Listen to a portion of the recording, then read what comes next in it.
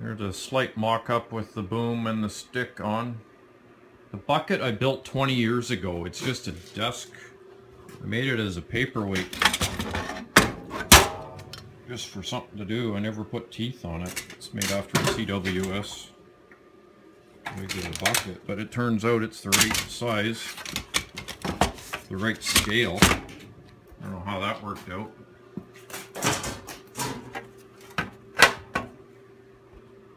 That'll be the bucket. I'll duplicate that.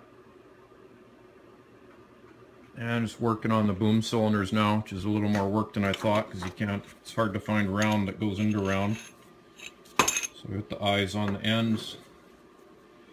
And they actually are limited. Use the old metal lathe that welded a block, a little piston on the end. So they're, they're limited how far they'll come out right to the end. Put a bead of weld around the rod and put it on the lathe and they're capped it's actually a washer to reduce the diameter at the end, so they're boom cylinders.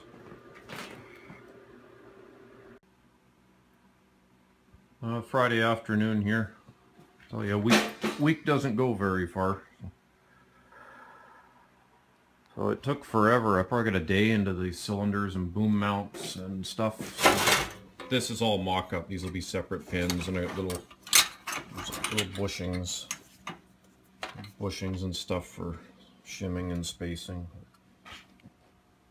Did make a couple of rotary manifolds. Well, sorry, rotary swing motors, swing transmissions. So they each got one of those. Uh, geometry's all right. Cylinders are all accurate. They're just hanging in there with odds and ends now for setup. And again, that bucket is will be copied. So they're going to look good. But my goodness, they're not going to be cheap. I think these are going to be 2500 bucks too. They may get full guarding packages and they're going to get all the decals and hand painted. So, and they're both coming along at the same stage. The other one's the same. The arm is there for it. Now here's something for your metal lathe. If you do not have one of these, you gotta have one. They're from the 60s. They're ancient, but they're great. So it's quick release. So we can go from a cutter. I got all the tons of lathe stuff, boring bars and toolboxes full of bits. I can change out for, I got bucket cylinders to cut now. So I can drop a cut off tool on there tighten it down, not with one hand. But these are a good system for a metal lathe. So we can do cutters. I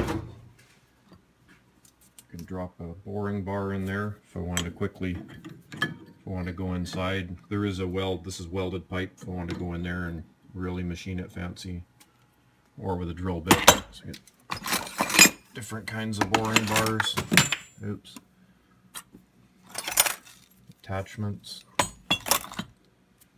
So, but a lathe is a handy tool for this stuff.